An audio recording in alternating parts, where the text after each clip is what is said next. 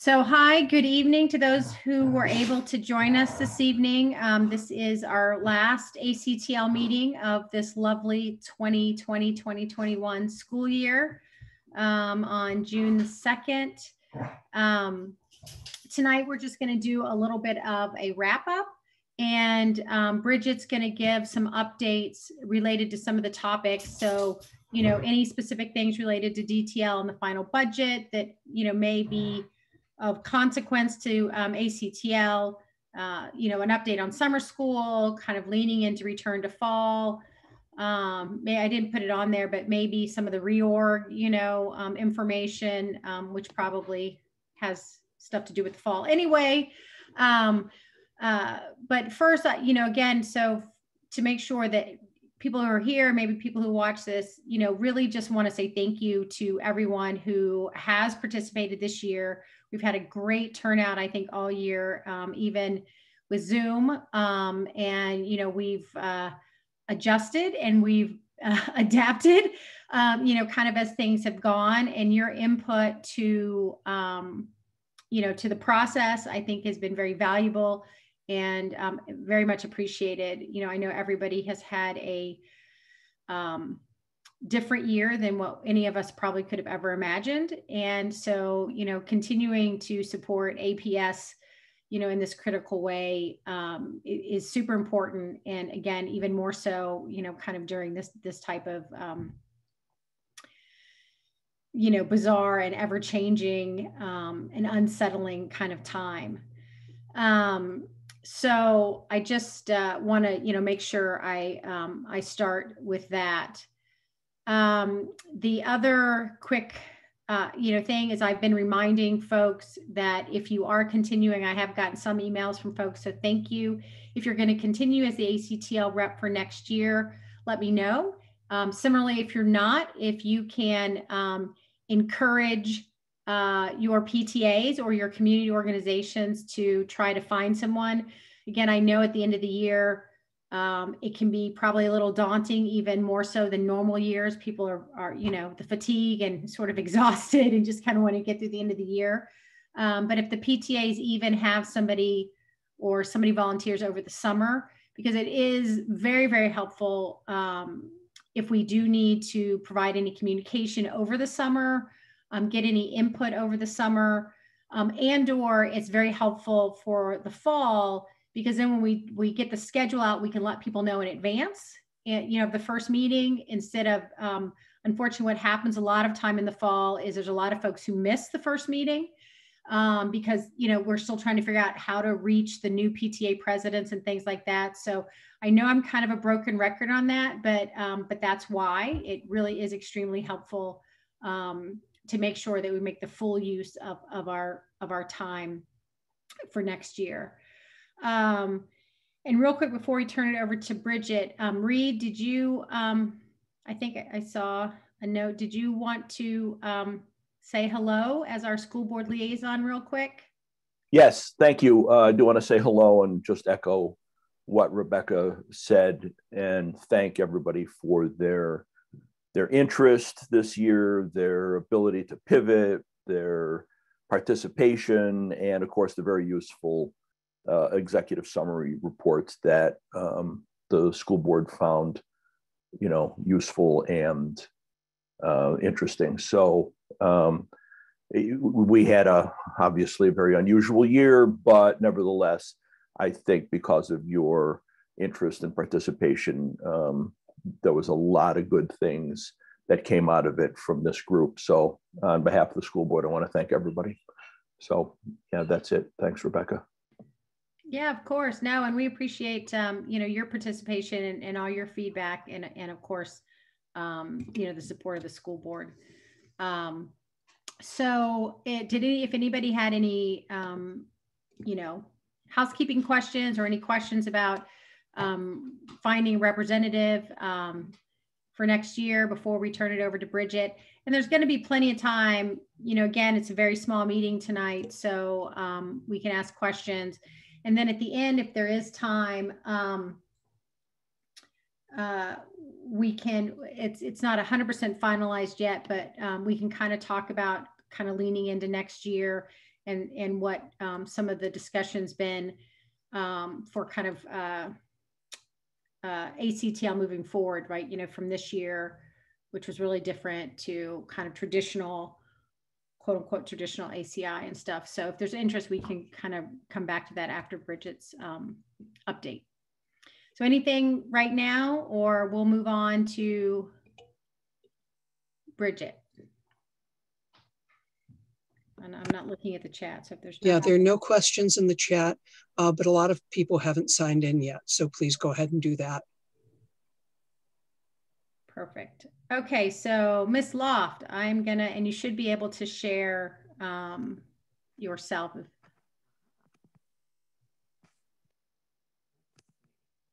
Yay.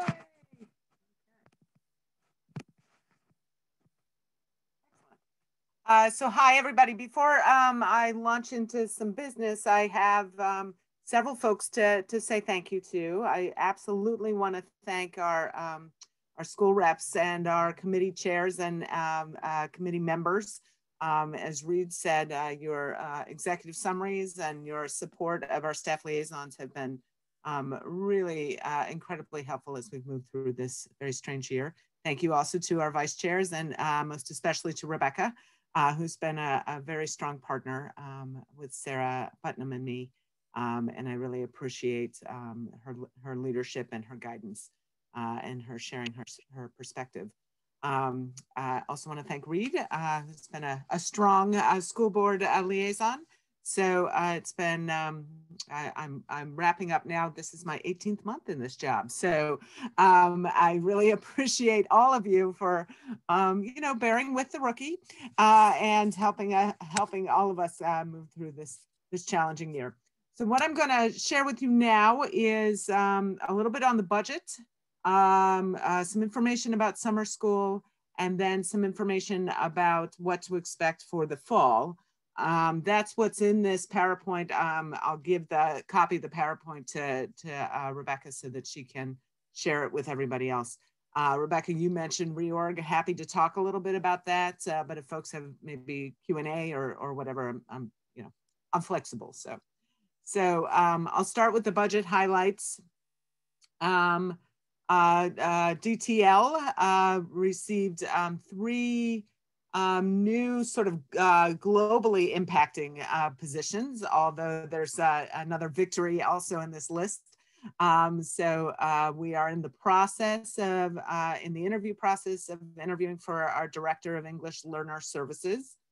That's a real um, important and I think it speaks to the, the board's vision as well role because it's going to help us uh, really elevate our support for instruction, our social emotional support for students, um, uh, the programming that we offer for our English learners, um, and moving um, um sort of concurrently and beyond our uh, DOJ settlement agreement. Um, uh, we fully expect that this director will be able to interface um, closely with our directors of special education um, through, uh, with Sarah as the Director of Curriculum uh, and Instruction, and then certainly across the Office of Academics and the Office of School Support. So um, we're hoping that uh, potentially this person might be appointed as of uh, July 1. I think that's what we're shooting for. Um, but certainly we don't want to rush the process. We want to get, get the right person in the job uh, moving forward. DTL also, yay, has uh, has also been approved to, to hire a data coordinator, and we fully expect that that's going to be a really helpful position as we move forward and working with advisory committees.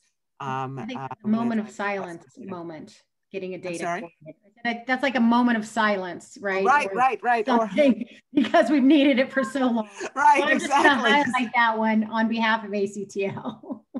and thank you, Rebecca. Yes. So, um, yeah, absolutely. We're looking forward to that. And we're um, engaging in uh, interviews uh, this week with the hope uh, that we might have that person also appointed by July 1. And then um, something that's uh, I, am also really looking forward to is uh, a DTL accounts coordinator. You know, we've got a significant budget uh, and a lot of range um, as far as our Office of Special Education, our um, um, CTE um, office, and then our, our several um, offices of curriculum and instruction. Um, and we've been relying on internal staff who have jobs of their own uh, to, to really ensure that we've got uh, good stewardship of our resources and that we're being smart about what we're spending. And so this accounts coordinator is really going to help elevate um, that work. Uh, we also uh, were successful in um, uh, receiving funding for um, our social emotional learning screeners and our math screeners, math particularly for first through fourth grade. Um, and uh, so that'll uh, certainly help us as we're targeting um, student needs. Um, a big celebration, I'm sure, coming from uh, GSAC, our gifted services teacher spe uh, specialist has been um, um, allocated.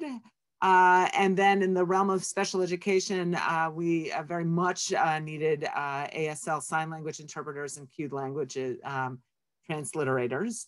So that's been very helpful as well. Um, we've got some significant resources coming our way, uh, funding for resources in the world of English language arts in particular is gonna be supporting our transition to structured literacy and then for world languages, for Spanish language art resources and um, French um, textbook adoptions. Um, so we're uh, really um, very grateful for that. And then in our LSRC and Welcome Center, um, we, have been able to hire um, or, or, continue um, a, person we hired last year uh, to help us with translation and interpretation.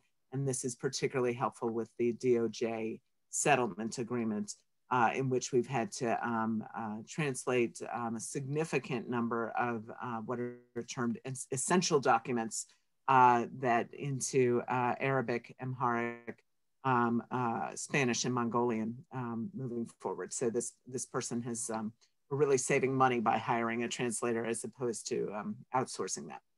So Rebecca, I'm not quite sure. Do you want me to pause after each one of these? Then yeah, that that's probably good. So there's a there's a okay. couple questions in the chat. I think. Um, Natalie, yeah. Wanna, yeah, there's one on budget.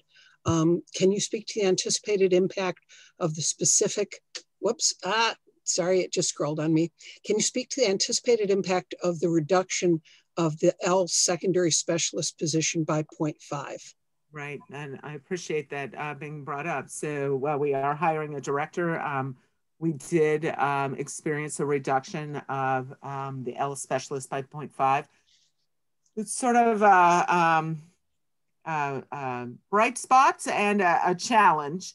Um, uh, the bright spot is that we were able to uh, use Title um, III funding to create a 0.5 position that will be um, servicing students in the distance learning program. I'm sorry, in the virtual learning program. That's our, our name for it.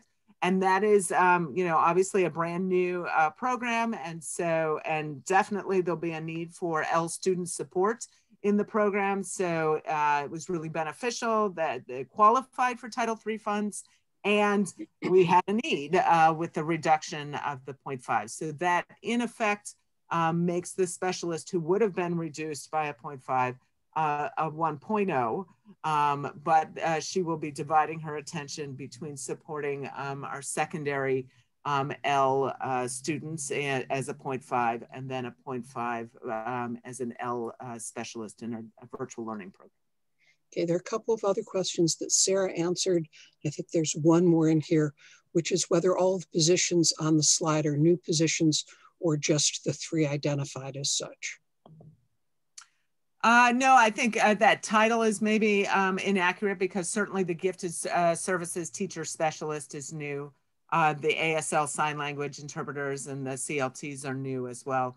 The translator is not. Um, that person was uh, hired from allocated funds last year, but it was just one-time funds. So we've been able to, to hold on to that translator moving forward that's been a, a, position that's now been embedded in the budget. So I think my intention in saying new uh, positions is those folks are sort of global to the uh, department, um, but certainly want to um, celebrate the, the gifted services teacher specialist is, is something I know has been long sought after by GSAC. So. Absolutely. Um, and there's some questions here about Lexia and uh, Sarah has said it will still be in place next school year. uh, but a comment came after that, which is that uh, that Lexia is not the best and that it doesn't challenge students. So I'm just putting that forward for you. I don't know if you want to comment on that, Bridget. Uh, you know, I would say this is um, our, our first year in engaging with Lexia. Uh, I think one of the benefits of Lexia is, is that it's adaptive um, and it allows us to uh, get some, some strong data on our students' um, reading proficiency. So um, I think certainly, uh, you know, I'd invite uh, uh, some offline discussion about some concerns that related to Lexia. Um, so yeah, I think that would be my response. Okay.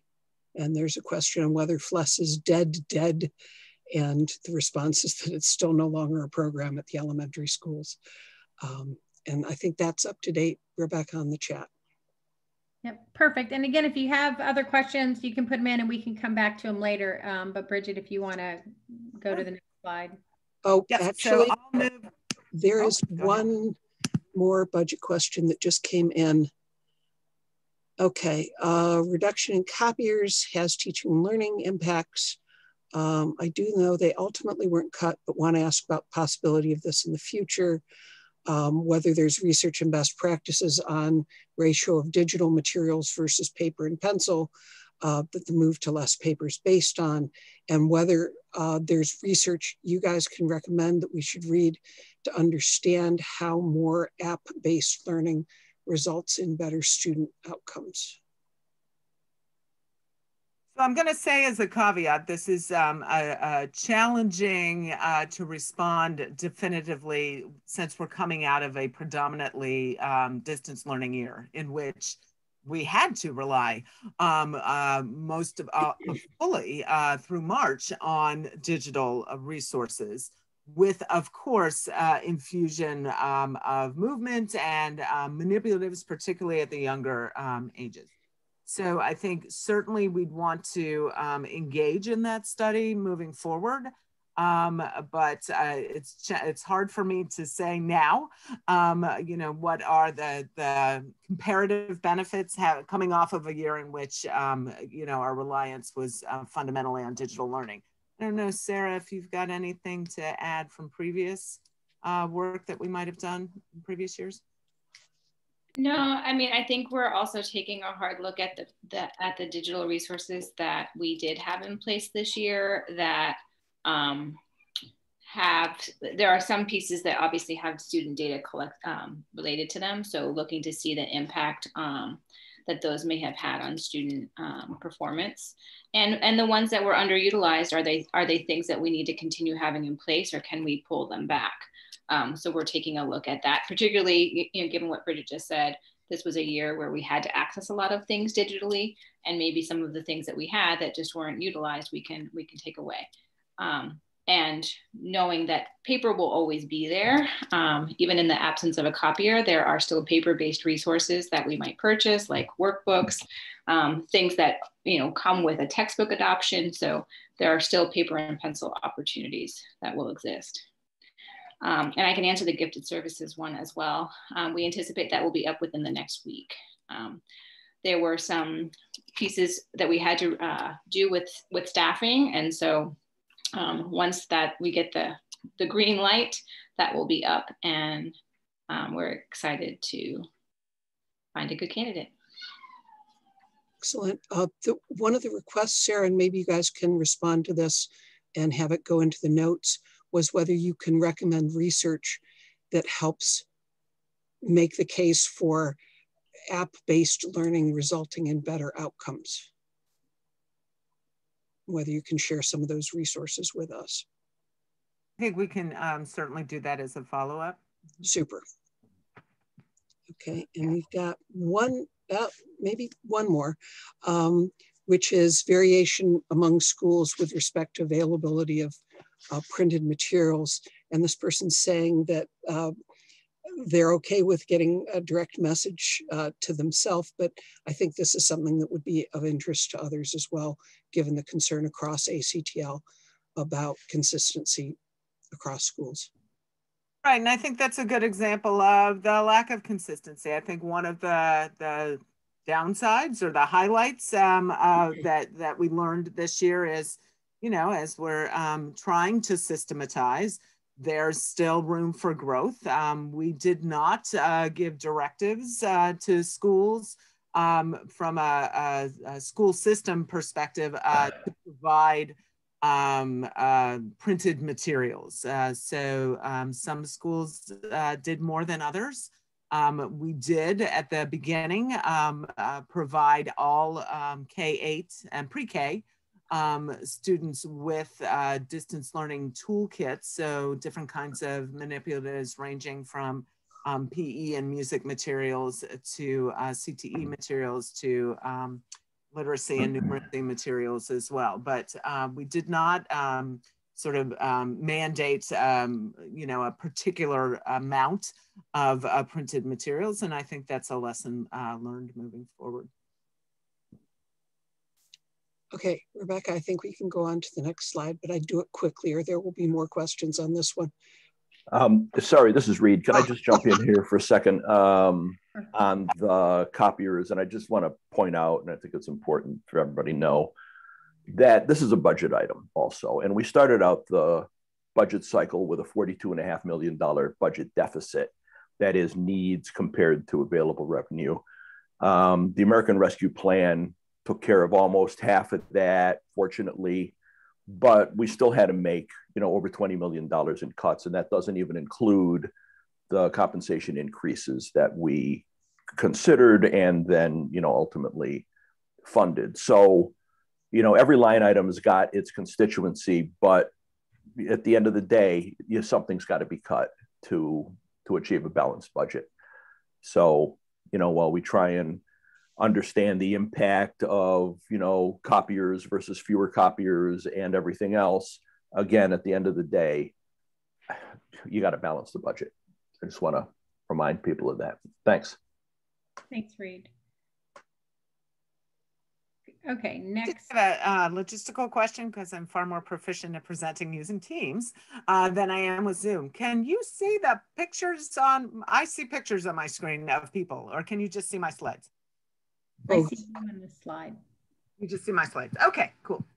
Because uh, I noticed the pictures were um, hiding the um, um, some of the words.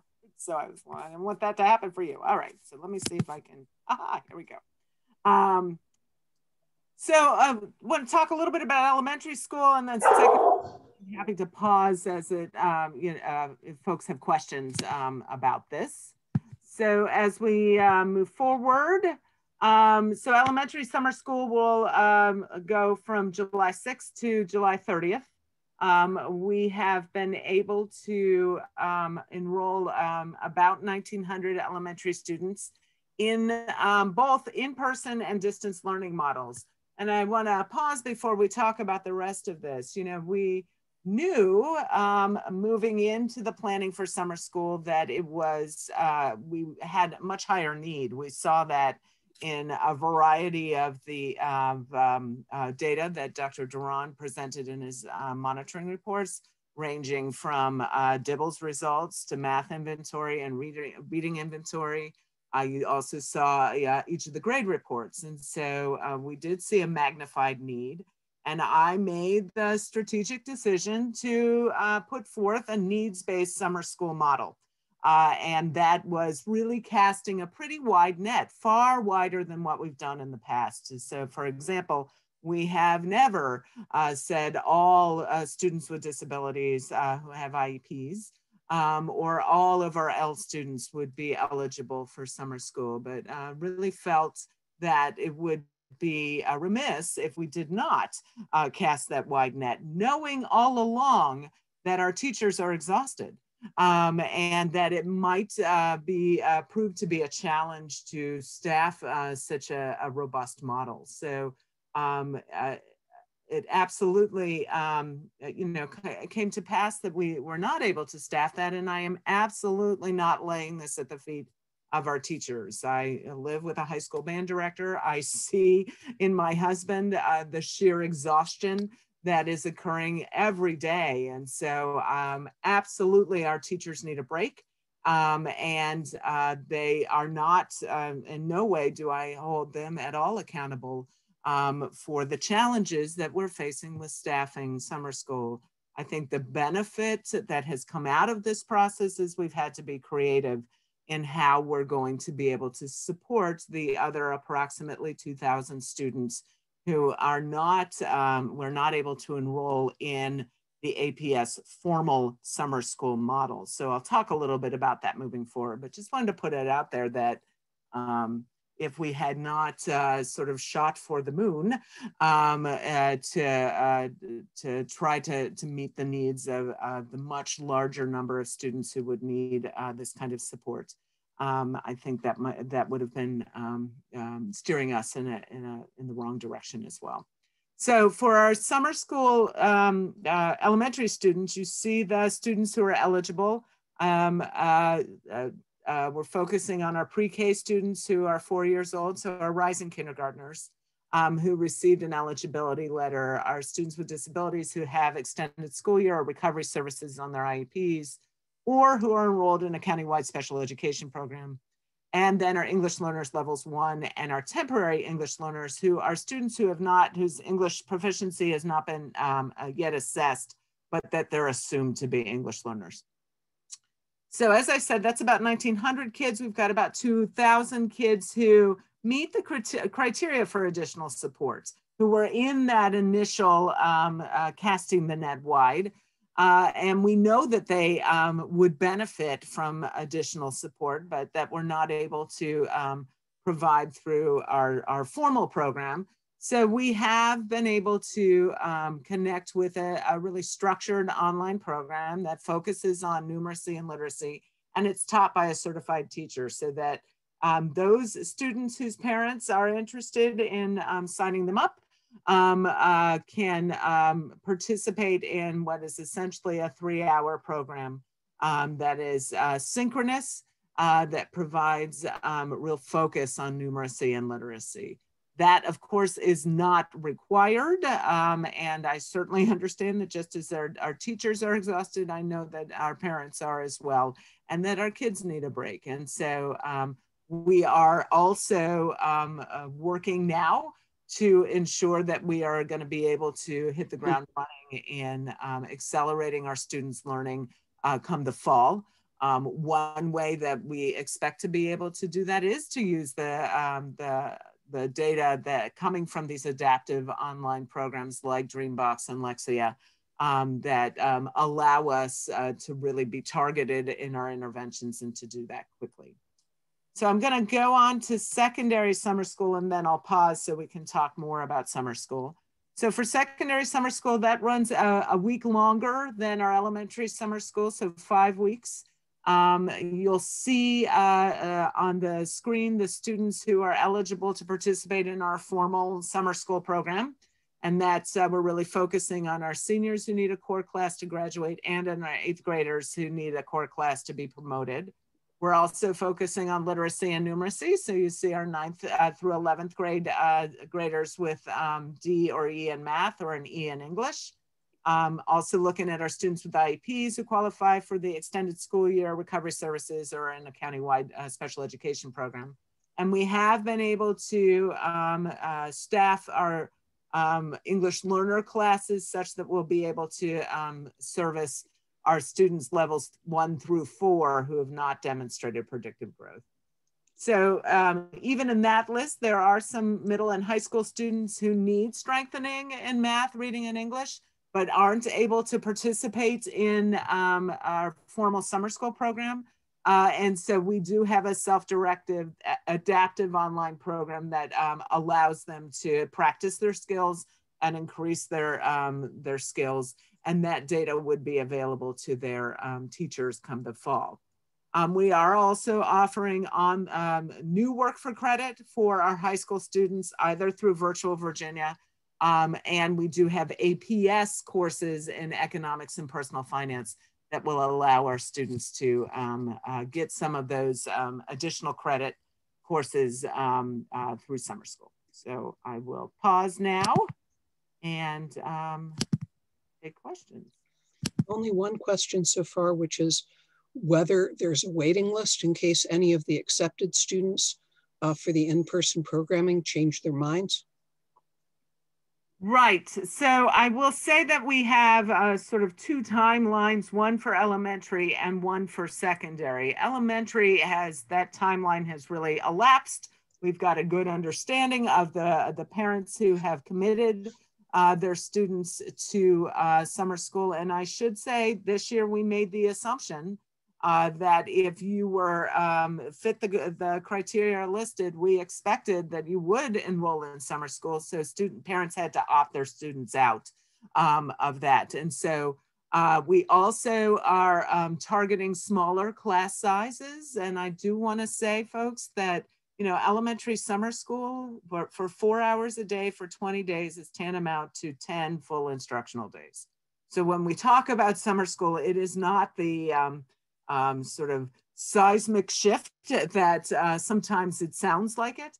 So uh, we want to really be as impactful as possible. And so with those lower class sizes, that will allow our teachers to be able to reach um, all of the kids in their classes that they have needs. So I say all that to say that no, we don't have wait lists because we, um, especially in elementary school, have not had um, um, uh, seen a need for that because our um, students, once, a, once their parents have opted them in, they've stayed in. For our secondary, they had until Friday, last Friday to um, opt out. Once again, anybody on this list was assumed to be enrolled uh, unless their parents opted them out. Um, and uh, at this stage in the game, uh, we're also pretty full, although we're still uh, the, the week following, we are, our registrars actually have until June um, 8th to finalize registration. So kind of shifting sands at this point. Okay, and there's a question of what happens if you lose teachers for summer school because they've gotten better offers. Mm-hmm. Well, and you know, that actually is a phenomenon. So we did offer a $1,000 incentive uh, for teachers and, and assistants who are willing to work in person. If you recall, when we sort of started this summer school process, that was the end of March, early April, um, uh, it was still unclear um, how many folks would be willing to teach in person. Um, and uh, we anticipated and talked to our surrounding districts who also are reporting the same that um, uh, it, it, might have been even more challenging to, to get folks um, to, to sign up to teach without the bonuses. That said, some of our surrounding counties have been able to offer more um, monies. Um, and so we have lost um, some uh, teachers, uh, particularly for um, our highly specialized special education classes, et cetera. So um, we will be able to staff with uh, highly qualified folks. but yeah, we have lost some teachers. And we have a question of um, whether there's anything you need the ACTL reps to communicate to the school communities about summer school. Um, yeah, I think it, it's helpful um, first to have an understanding of uh, the students that we we will be able to serve in our formal, our APS summer school. Um, and to reiterate that we are working diligently to provide opportunities for kids who maybe were initially eligible in that sort of expanded list, but that um, we're not able to serve directly. Um, we are going to be sending a letter to our secondary families. I expect it will likely be tomorrow, if not Friday, um, sort of notifying them of this self-directed adaptive online program so that they understand kind of how, what direction we're going with that. Um, and we did give our elementary families um, of students who wouldn't be able to participate in our summer school program a heads up about what was coming. More information will be uh, shared with them as well. So the information on this slide is really, um, I think, helpful for the community to be aware of what we're offering. Yeah, and is, and if you did um, join late, um, uh, Bridget's going to share this deck um, with me, so I will be sharing it out with all of you. So um, so if, if you did join late and you're trying to take notes or take pictures of it, I am going to get this out to you um, as well. So you'll have that, you know, to share back with your communities. Okay. Uh, the next question is whether extended school year recovery services are delivered in virtual summer courses. And uh, Nick says at least one school has said no. I think that really depends on what that ESY recovery service is, um, and it's really individualized to the the child. Um, so you know, yes, per, uh, um, uh, according to need and what the um, the model the family chose. Um, I will say that um, we do feel that uh, the in-person delivery of ESY and recovery services is has more bang for the buck. But we also uh, recognize that we've uh, there are you know our, our kids aren't vaccinated yet, um, and there are families who have concerns about sending their children into um, in-person learning, and so yeah, Nick's right that at some school there's not, but it's more dependent, I think, on um, the student need and the model that they've chosen.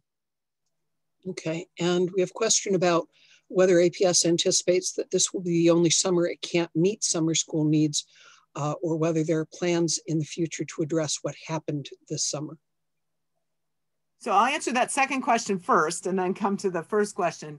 This is really my first time as the assistant superintendent for teaching and learning in uh, sort of experiencing how do we launch summer school. If you recall, last year we did offer uh, summer school programming, but it was fully distance learning and we were still figuring things out, right? So, uh, and I think absolutely we need to do some reflection on uh, what went well and uh, what are the challenges. I've, I've already shared one of the big reflections was, you know, um, perhaps over promising and under delivering is not the uh, the best way to go no matter how well intended it was um, and so uh, i can promise that we uh, already have in the works uh, some reflection opportunities I will say this as well. So I'm going to come back to that, you know, summer school is equates to about 10 full instructional days. So we really want to see how impactful is it in moving students along, particularly our students who may be a year or more behind grade level, right, in reading and in math. Is this the most viable way to do it?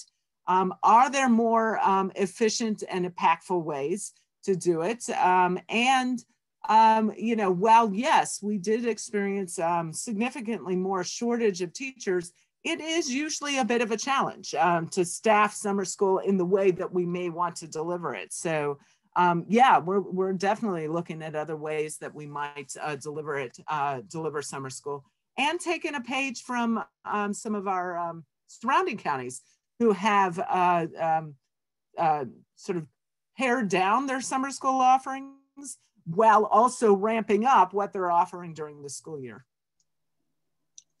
Okay, I think that's up to date on the chat. Okay. All right, so next is um, looking towards next school year.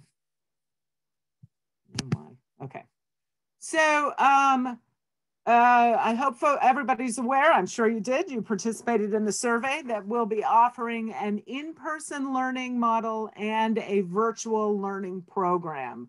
So I'll do a sort of a summary of the in-person learning and then uh, the virtual learning program and then happy once again to, to do any questions. Um, so in-person learning will be five days a week. We'll have all of our classes in person with our teachers present. Uh, so there will no longer be asynchronous Mondays. Um, we'll have normal breakfast and lunch within the cafeteria um, and within the, the school building itself. We'll be offering, I'm sorry, I was typing quickly, so that should say in-person specials and electives. So Rebecca, the slide deck you'll get will have the um, um appropriate spelling.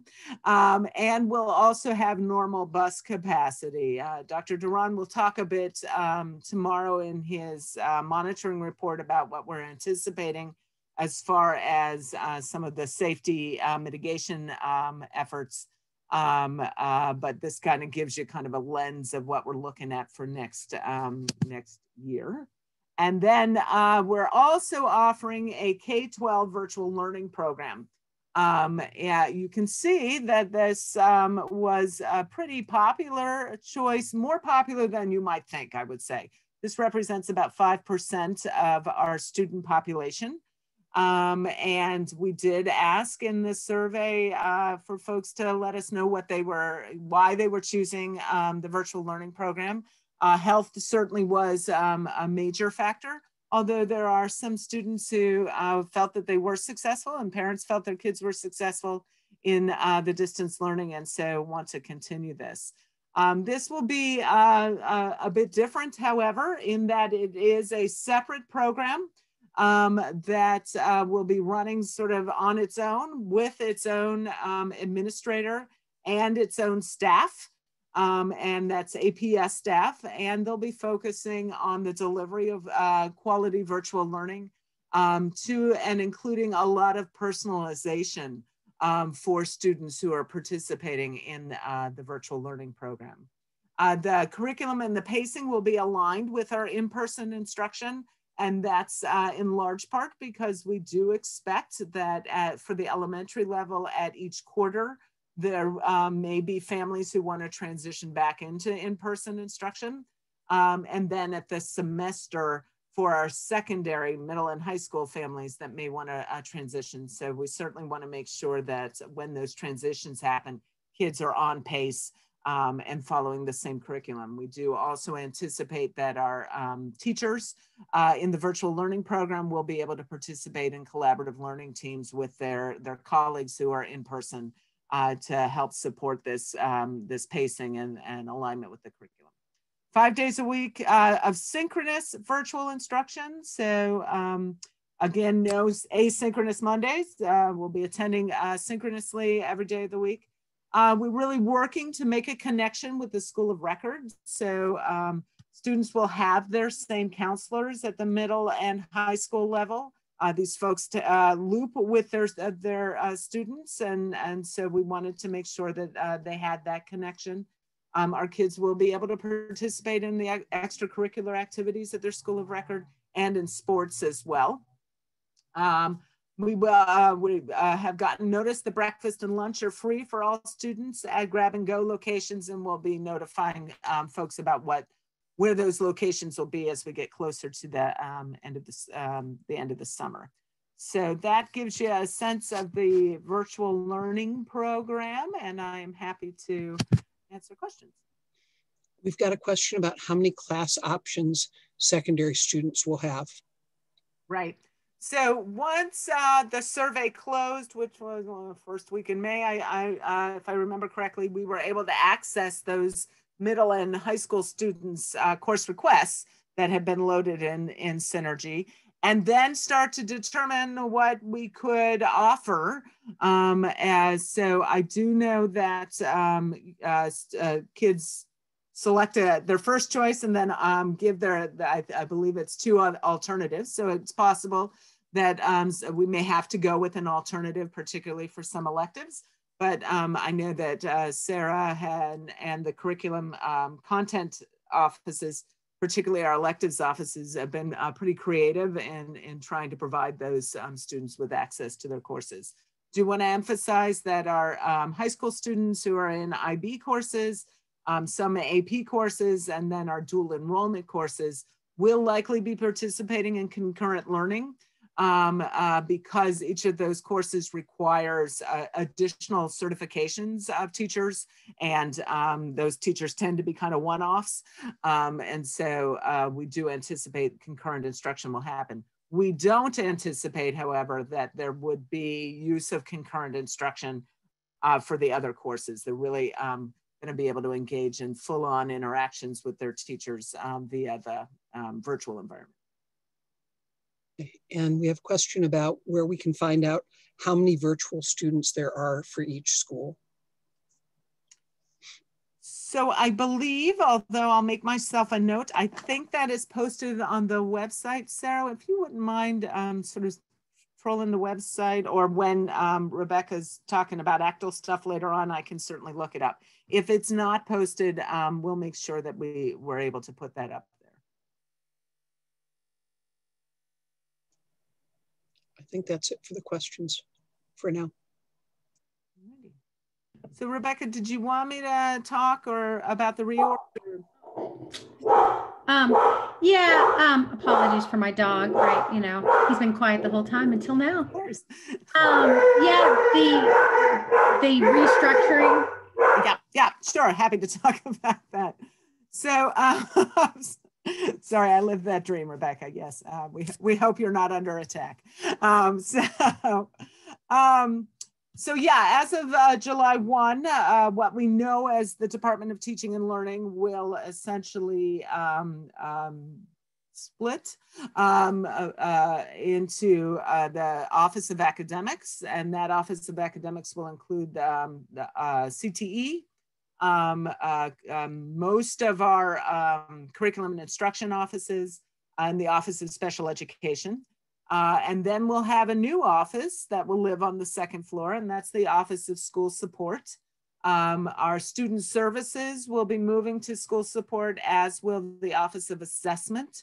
Um, uh, admin services will belong to school support, and then our directors of elementary and secondary education will move there.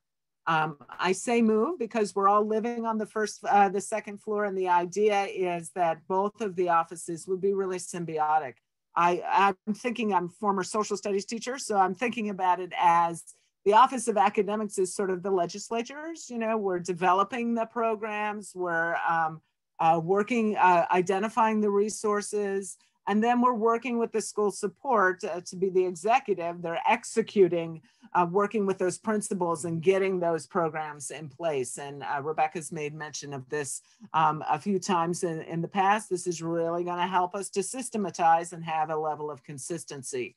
Um, our uh, uh, professional learning is going to be moving to uh, HR, and um, uh, they're going to take on a much wider scope uh, to provide professional learning for the entire, um, uh, well, pro professional learning um, systems for the entire district.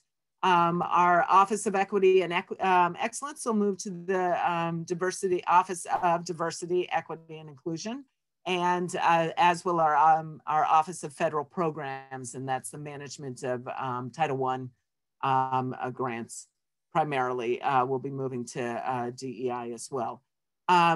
As far as ACTL is concerned, um, you know, our student services, um, uh, our um, student services advisory committee, uh, we anticipate that you'll continue to be part of um, ACTL um, and uh, the school health advisory board, uh, who works closely with Laura Newton, our director of student services, and Debbie DeFranco, our um, supervisor of health and PE uh, we expect will continue as well. So, uh, and then the office, um, the, the uh, Equity and Excellence Advisory Committee, I think may be in flux, um, uh, but uh, we're certainly working with uh, or expecting that our supervisors of each of those offices would be working um, closely with advisory committees to, so that everybody knows kind of, you know, where do you fall in this reorg as well.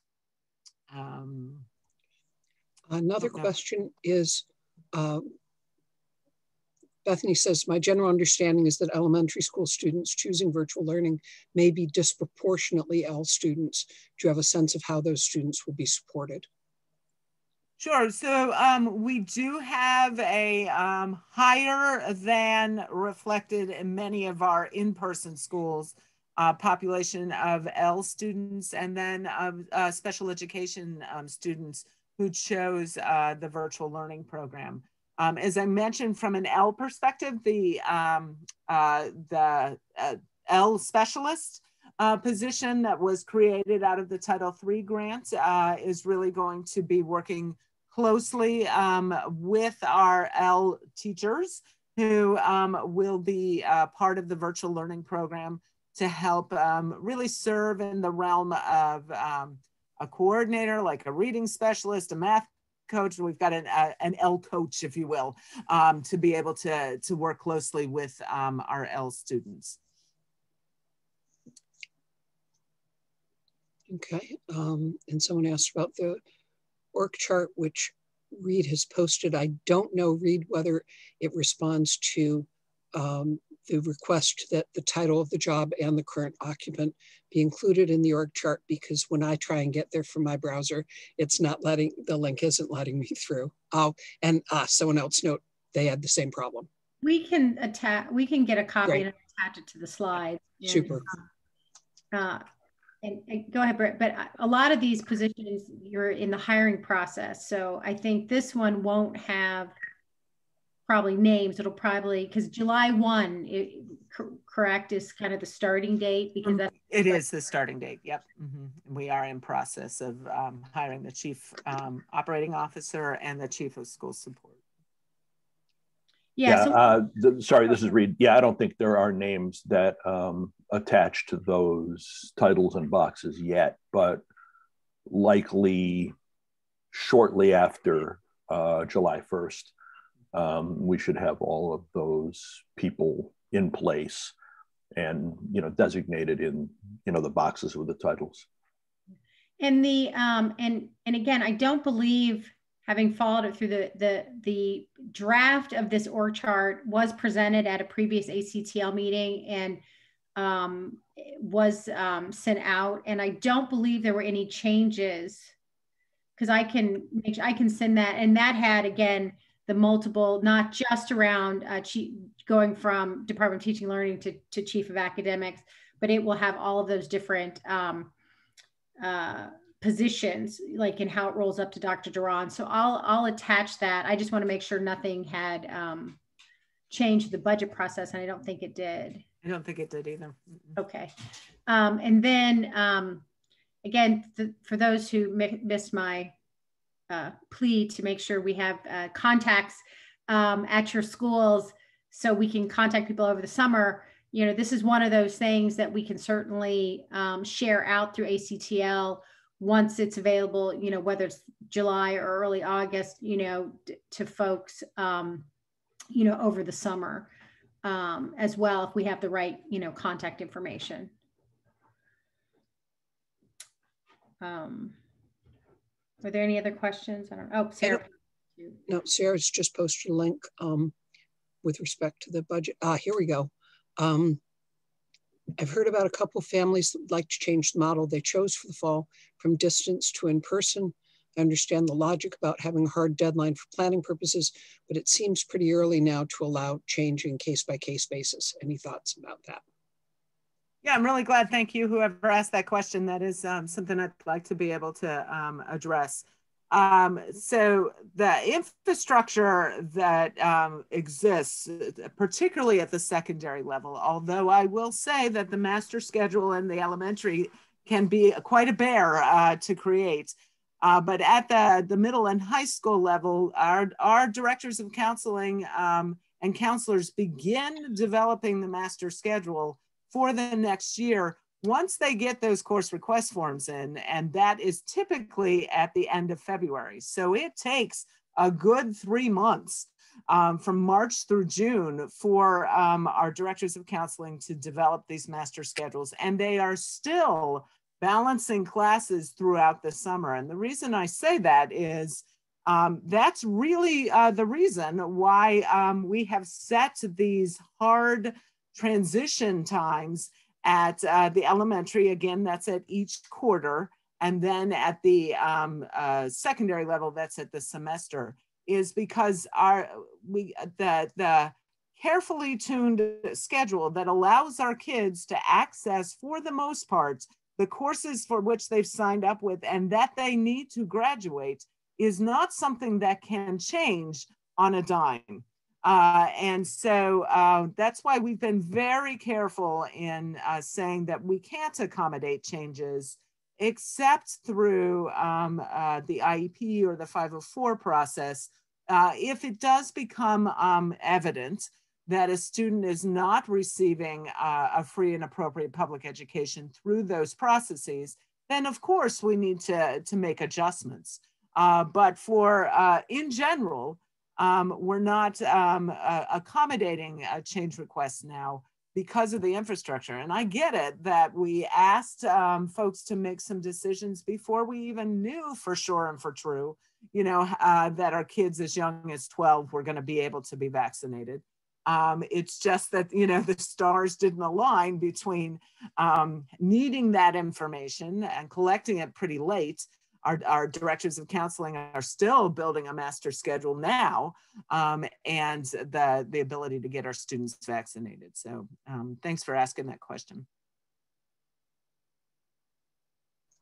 I think we're caught up, Rebecca. I'm gonna. I'm gonna stop sharing. That's fine. And she did mention in the chat that it was for elementary, but the same kind of goes, it sounds like, as far as the master scheduling. Right, right. For secondary and that that transition time will be at this semester. Okay. Um, so I don't think what, so um, thank you uh, for all of that. Does anybody have any other, um, I know we tried to cover a lot, but we really wanted to make sure that you had information sort of on the highlights of, um, uh, you know, the kind of those important topics to take back to your, um, your communities. I will share that out and um, make sure everybody um, has a copy and I'll also attach the, the, the new uh, structure as of July 1. Um, so if that, um, well, don't go anywhere, you know, Bridget. but um, uh, if you have any other questions as you think about them, you know, put them in the chat. So, so really, um, the kind of the last, this last 30 minutes, um, uh, if people had, I think I put this in my email, you know, we would really like to get, because we're not going to do a survey. As much as I kind of noodled over it, I'm like, I'm not going to, let's just be honest, I'm not going to I'm not probably going to get around sending out a survey to get feedback. Um, but you know, we definitely, as we're um, wrapping up this year, um, you know, and again, be gentle, but we want constructive criticism or suggestions. Um, but you know, what um, you know, could could we do better, right? What um, information, what topics would ACTL members like to hear? um, you know did you did zoom work okay for you um, are you interested in um, doing these meetings in person virtual next year a combination um, concurrent lord help us um, if i can figure that out um, but any of that type of feedback um, you know again that's how we're going to continue to also make uh, your time commitment here with ACTL and your time commitment back with your communities and your PTAs, you know, more valuable. So, um, you know, you can comment here. You can, you know, let other people, you know, kind of hear your thoughts. You can email me. Uh, you can call me. Um, but but really, um, definitely would love to hear any feedback um, from from folks. Um, so I'm going to pause and just see if anybody has anything. oh my gosh, it was such a wonderful year. Um, let's see. Having some meetings virtual and some meetings in person. Yeah, I think that, um, so just so you know, so the school board for next year, um, uh, we are still working on uh, finalizing the ACTL leadership team for next year, and that will go to the school board on the 24th of June. So as soon as that is all uh, tied up in a nice bow.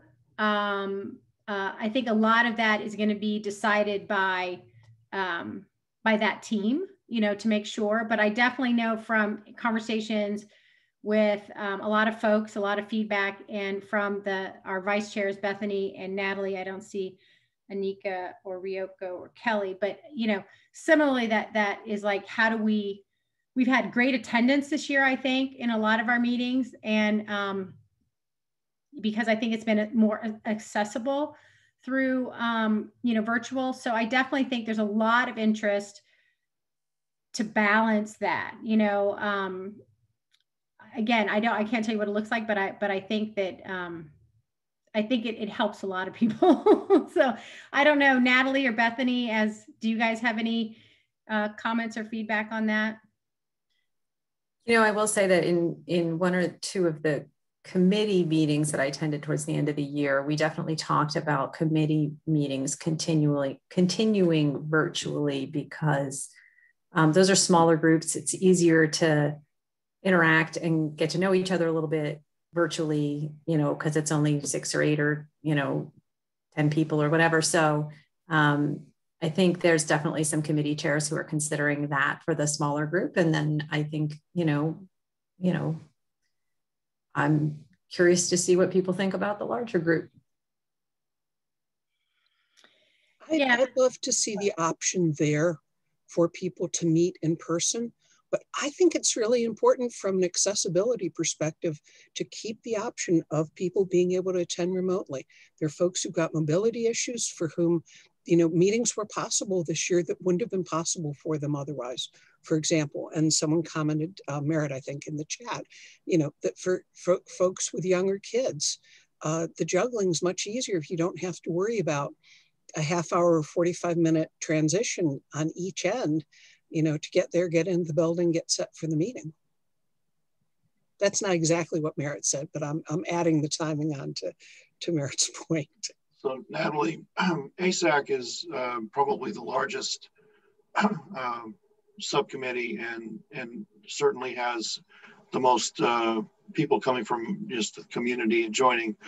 Um, we're actually talking about doing both, um, having you know the, the members uh, largely gather in person, but have a, uh, a Zoom going at the same time so that other people can tap into that and and join the meeting. I'm not sure how that's going to work yet, but that's the that's the desire, and that's just mo- mostly because we have people from the community coming in to any any given meeting.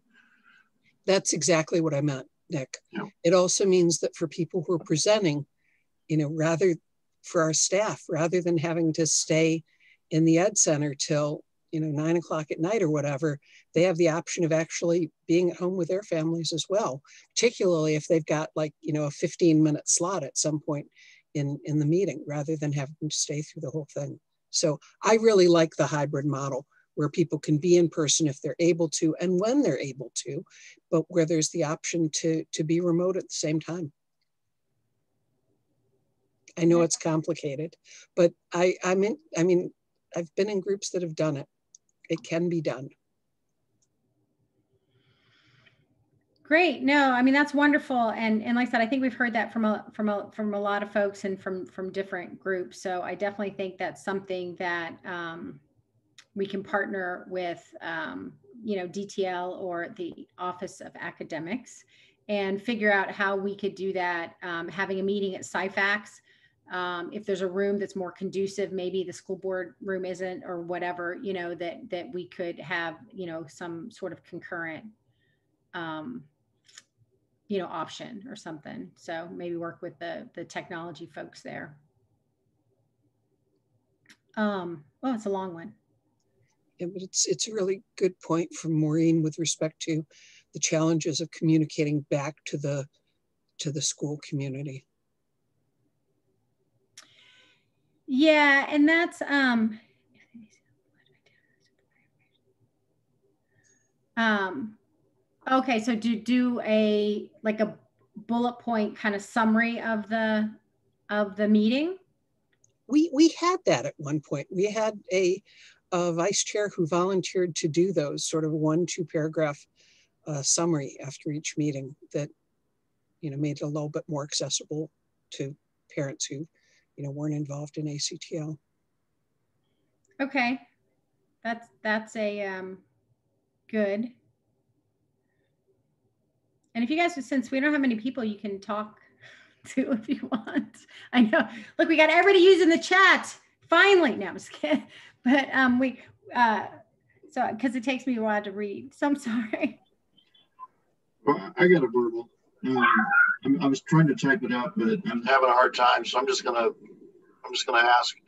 Uh, Ms. Loft, the, the chief of school support is going to oversee principals, and that is a, a pretty big departure from uh, what we've seen in the last I don't know however long it's been under the superintendent. Wondering what authority they're going to have, and how is how is consistency going to mix into that, and I wonder if you can just clarify some of that. Yeah, I mean, I can speak to what I know with the caveat that this is a brand new position. Uh, the person hasn't been hired, et cetera, et cetera. Uh, and so some things may change. But I, I um, as I understand it, the chief of school support will be um, supervising principals and serving in an evaluative uh, capacity. Um, the expectation is that as principals are developing their progressive plans, as they do at the beginning of each year, using student performance data and other issues um, to, to inform that, that plan that um, the Office of Academics will be at the table um, to help uh, uh, provide resources, support, to understand what the, uh, the goals are um, moving forward and um, that there will be an expectation of um, some of areas of focus. Um, I'd use as an example that equity, for example, has been um, an area of focus uh, in years past, um, having as uh, um, an adult that students can make connections with uh, has been an area of focus. Certainly, I would anticipate looking at uh, elementary moving forward to, to next year uh, in our transition to, to structured literacy, that that would be an area of focus. And so I bring that up to say that um, there would be, that's an example of how we can ensure um, uh, sort of consistency in delivery. I'll use another example too. Um, as of June 30th, uh, APS will be an entirely Canvas district. We weren't um, uh, for, for this past year, and we saw the fallout to that. Uh, and so while uh, uh, DTL has worked closely with uh, information services to ensure that everybody's got the training and the resources available, it, will be uh, uh, part of the role of school support to help ensure in working with principals that all of their staff are using Canvas moving forward. Um, so that might be a tangible example of what we anticipate will be helpful in providing consistency. Um, Jenny or Kelly, do you guys want to make your points um, directly rather than our reading them?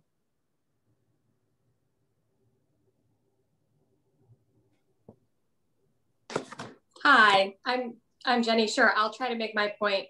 Um, which one? Number one, I thought this is a great opportunity. This was my first year on ACTL, and I'm really glad this opportunity uh, exists. I represent Gunston, and something that I found challenging is that um, even though the agenda and a lot of times slide decks were shared in advance, sort of the, the so what or the, the real um, explanation behind the topic didn't happen until the meeting itself.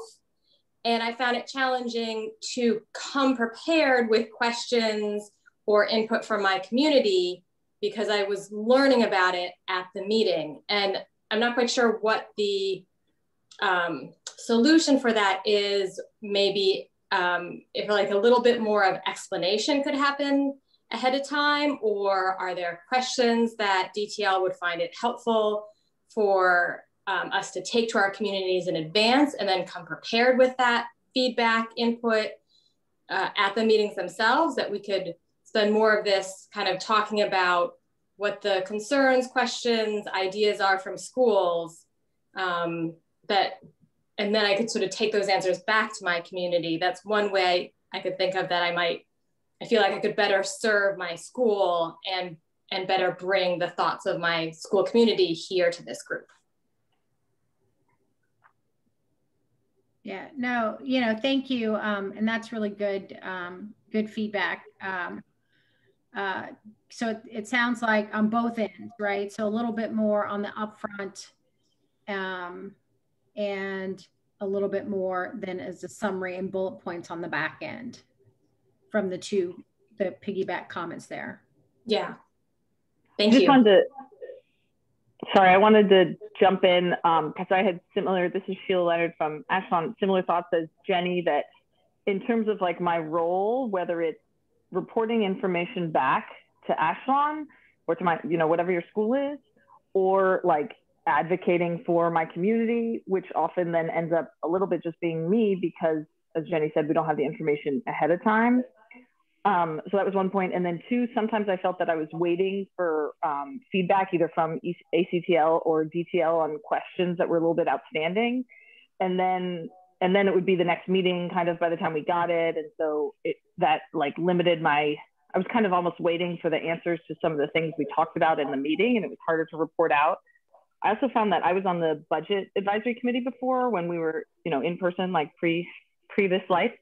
And um, i found it was easier to have fruitful, I, I want to say fruitful, like um, conversations like to the end of a, a, point when you're in person. Even right now, um, Paula just asked about elementary, uh, um, elementary kids like being able to opt in for in person.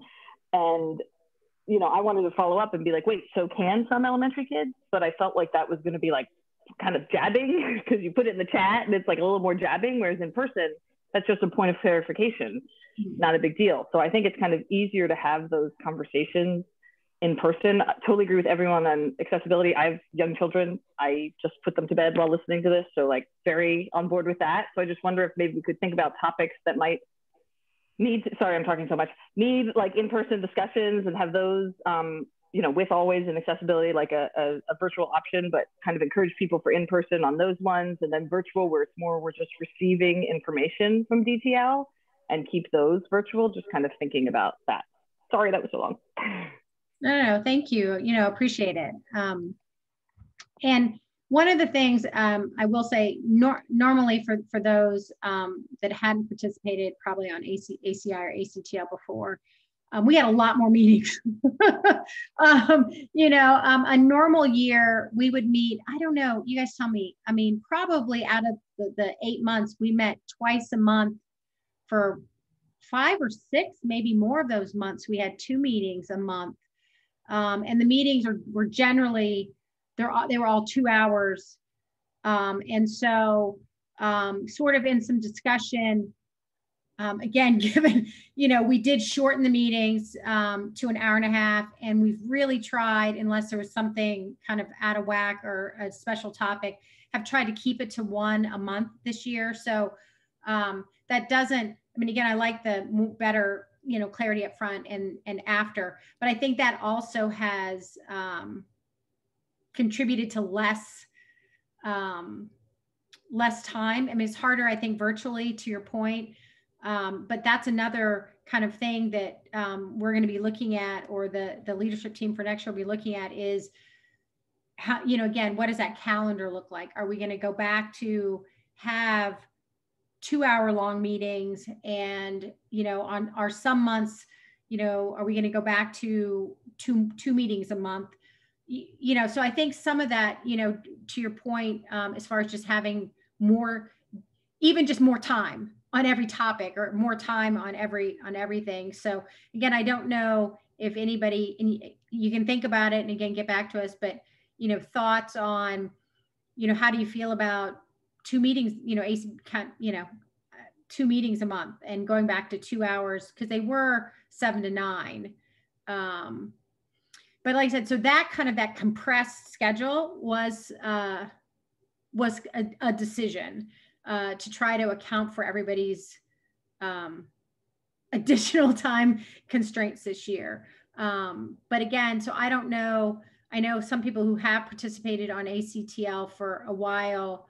Um, again, you know that that difference in you know more time, more meetings, longer, but but again with more opportunity to have kind of a that next level of conversation. I think to Sheila's. Your name is Sheila. It says Sheila. Is your name Sheila? I hope so. Sorry, I'm muted. Am I still muted? Yes, I'm sorry, I'm Sheila. Yeah, okay. I think that gets to names whether the same. I think that gets to whether we're passing back information. When you just said two meetings, two hours, I was like, oh well, maybe not then. But uh, whether we're passing information back or providing feedback, which I think are just two different things, and both like have value. Um, I just want to make sure I'm doing the one.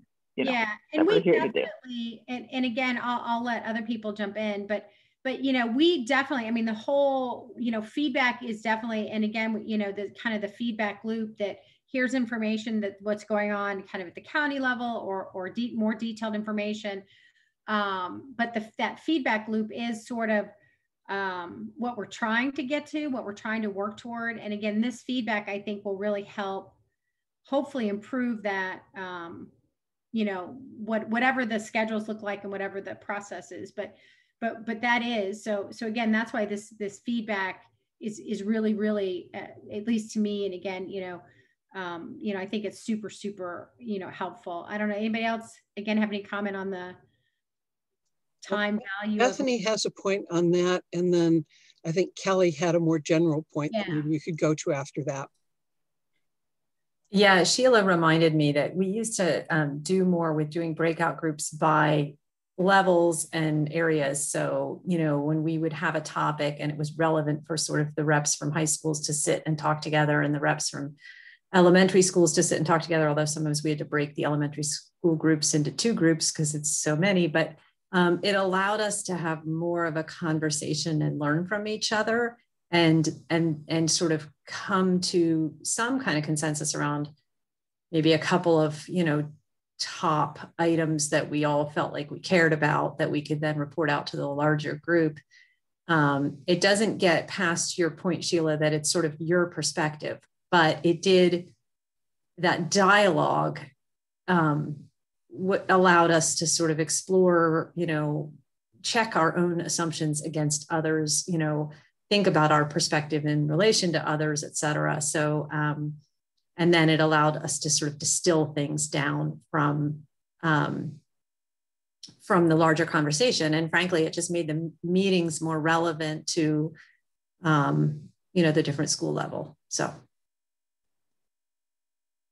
depends of course on the topic a little bit yeah and we did and i don't know if you guys um we the first couple meetings this year and and again i think it was so new um and again because we shortened the meeting and didn't have as many but we did use um, the breakout rooms a couple times. Um, not not a lot because some of the the later topics like budget were kind of big, and we didn't do that. But um, um, but potentially again maybe better use of of the breakout in person and then somehow adapting that to where you know the virtual people can also like if we do a group like that bethany you know somehow bring the virtual people into different you know um, different rooms or whatever. Rebecca it's judy. Sorry i don't know how to raise my hand here. So oh, okay. um, i'm thinking back to uh, years when we have had um, more than one meeting at the beginning of the year just to get people all sort of in the same place mm-hmm. to explain things and understand your role and have a chance to ask questions and all the kinds of things we're talking about here so that we're not getting into the process and then people don't know what they're supposed to do.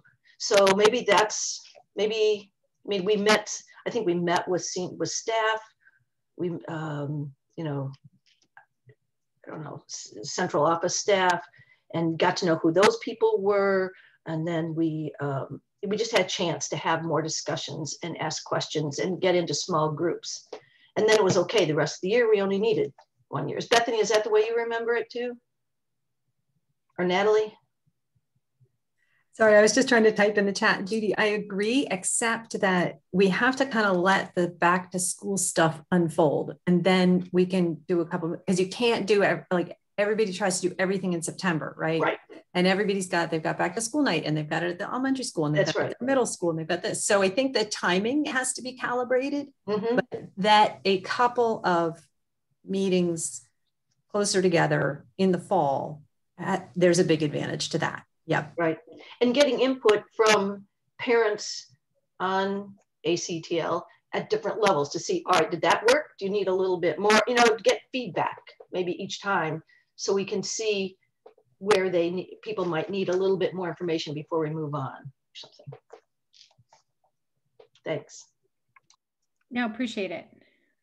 Um, I don't know if anyone would want to do some sort of, you know, podcast of some of the APS 101 stuff that people could listen to on their own time um, and perhaps even before the formal meetings start. Uh, but I, I don't think we've gotten to Kelly's point yet. And I think it's an important one. Kelly, are you out there? I'm here. I've been listening to the meeting on the phone. This has been really helpful. Thank you to everybody and to Rebecca. I just wanted to kind of reiterate I thought the work session was really eye opening. And I think the more we can do to keep these important topics in front of the school board during the year are really important.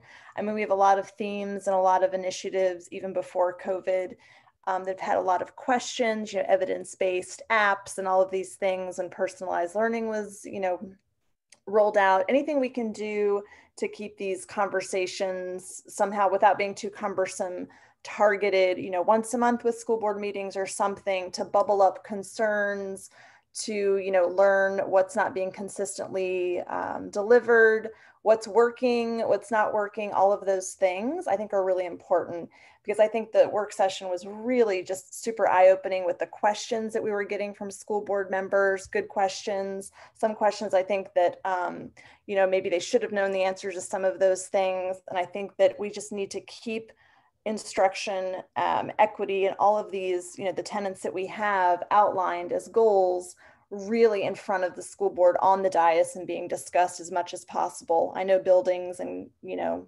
energy is very important, but anything we can do to keep going back to that um, and following up at every meeting, you know, why we have disparities, uh, you know, like with certain groups and all of those things, it needs to constantly be front and center on the dais um, with leadership asking tough questions and you know voting to make changes when possible during the year. So i just wanted to bring that up. I, I really thought i want to rewatch that work session again because everyone did such a great job presenting and putting those things together and anything we can do to to that's not too much work to keep those things going i think is important. Yeah no absolutely. Thanks kelly. Appreciate it. Can can i piggyback on that one for a sec rebecca? Sure. Because I, I, Kelly, I think you're making a really important point there. And part of this comes down to data. And I put a quick note in the chat saying that, you know, you guys ought to meet the committee members, the committee chairs, ACTL reps should be meeting with this data coordinator as early in the year as humanly possible. And, um, you know, I've tried to make the point this year that we need the data. We need it to be transparent. We need the assumption, the default to be that data will be open and they will be public and they will be broken down with full demographics unless someone makes a compelling case for it to be otherwise. And we've had the flip of that situation for so many years on ACTL where we begged for data and we've got little bits and scraps of it. And it's, it's just got to change. And if you couple the demographic issue with the openness issue, then you're getting at the equity concerns.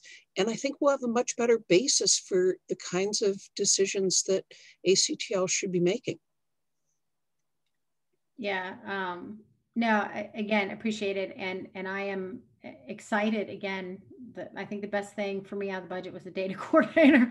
I mean, I know that's probably, you know, but for ACTL, I do think that's going to be, well, and I think the structure hopefully will. Um, and just so you guys know, we, we have asked both through the school board, through Reid Our Liaison, and um, through Bridget uh, for a permanent liaison from the chief of schools, uh, chief of school support uh, line or, or as well, because um, I think that that would be um, an amazing addition and a, a great improvement for ACTL uh, because a lot of those implementation questions Bridget can't, you know, answer, and that's why sometimes some of those questions it does take time to go back and get answers because it's not her department. So if we have a liaison, a permanent liaison from the the curriculum, you know, who's writing the curriculum, developing curriculum, you know, the on the teaching and learning side, and then who's responsible for that implementation. I think we would have a much fuller uh, view and much ready, uh, better access for a lot of those things. So so we have requested that. Um, it is supported, but again, we don't have a that position yet. So um, hopefully that'll happen as well. Um, so uh, I know, again, we've got about three minutes left. And so I'm going to monopolize that three minutes. And I'm going to say thank you. Um, I thanked all of our ACTL members and folks, but I, I definitely want to thank um, the ACTL vice chairs for being amazing and supportive and, uh, you know, doing so much uh, of the the work and the advice and helping and supporting all the committees and me and us and everybody else. So Bethany, I know Kelly just dropped off, so she missed my thank you. Uh, Natalie, uh, I don't think Ryoko is on, um, nor Anika. Um, but again, really appreciate all of your time and for on the ACTL leadership team this year. And then lastly, um, I did not forget uh, Miss Bridget Loft and Miss Sarah, wherever she, Putnam, wherever she's still here. But I did want to save uh, you guys for last because it's really been um, a pleasure working with both of you this year and have really appreciated um, you know your openness you know and really look listening i think to what we're saying. And and i know that we want to move a mountain in like 24 hours and it's hard to do. So but uh, i i really do believe that you guys have the same vision um, and that you have been a, a great collaborator and been so helpful and i know that with the new structure the data coordinator and all these improvements we've talked about that you know actl is going to be on a great sustainable future and so I just wanted to say thanks to Bridget and Sarah for being, you know, really great partners this year in this, uh, you know, when you only had a couple other things going on. so, um, so anyway, um, really, again, just can't thank everybody enough for your time and effort. And any other feedback, please, everybody has my email and phone number. Anything you think about, um, we definitely want to take that and, and again, make ACTL valuable to the people who contribute their time we want to make it valuable to your or you know your PTAs um, because it's only with those voices and that information you know that that then our committees and, and the school board and everybody else can can start hopefully moving um, in a more positive and um, learning outcome um, direction data driven learning outcome direction how's that um, so with that i will wish everyone an amazing relaxing peaceful, healthy summer. and um, again, really thank everybody so much for your time and your and your energy, and uh, look forward to uh, seeing everybody um, on the flip side, I guess, right? So that's it. Yay, we made it. Thanks so much. Stay safe, everyone. Take care. Thank you, Rebecca. Thank you, everybody. Thank you all.